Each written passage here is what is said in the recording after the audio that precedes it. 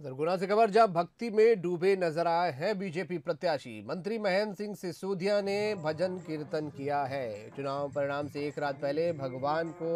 याद किया है उसका सिमरन किया है